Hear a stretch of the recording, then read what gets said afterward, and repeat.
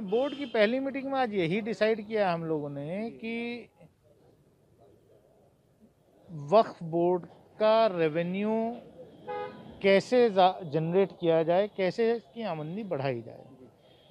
और यूनानिमस तरीके से एक फ़ैसला ये किया कि वक्फ की आमदनी, वक्फ बोर्ड की आमदनी बढ़ाई जाए और उससे मुस्लिम बच्चियों को, लड़कियों को स्कॉलरशिप देने का जो है, वो शुरुआत की जाए।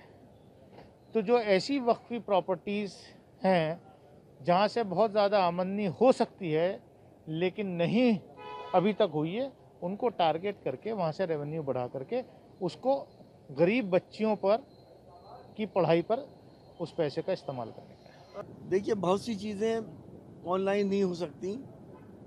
हेयरिंग अगर हमें करना है तो कम से कम हेयरिंग में दोनों पार्टीज़ को सामने सुनना पड़ता है, उनकी बॉडी लैंग्वेज भी देखनी पड़ती है, कौन झूठ बोल रहा है, कौन सच बोल रहा है। सबूत और बाकी चीज़ों को देखकर ही फैसले करे जाते हैं। तो हेयरिंग ऑनलाइन होना बहुत मुमकिन नहीं है।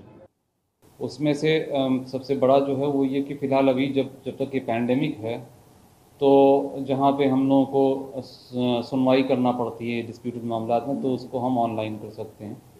उसके हिसाब से करेंगे।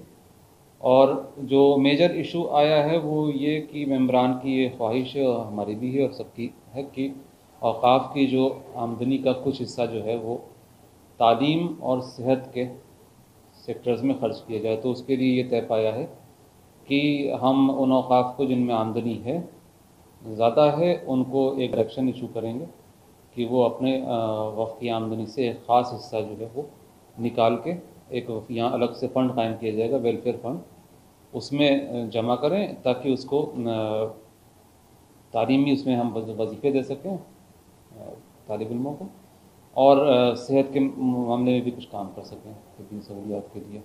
ये मेजर फैसला था। फिर ये कि मेम्बरान का को ये से ये भी दरख्वास्त की गई है कि वो अपने इलाक़ों में और जहाँ जहाँ भी उनका वो है पूरी यूपी में ऐसी जायदादें देखें जिनमें तरक्की हो सकती है और अवकाफ़ की आमदनी बढ़ सकती है और अवकाफ़ की आमदनी के से बोर्ड की आमदनी बढ़ेगी। तो आमदनी बढ़ा बनाने के ज़राए पे भी जो है, वो गौर किया गया।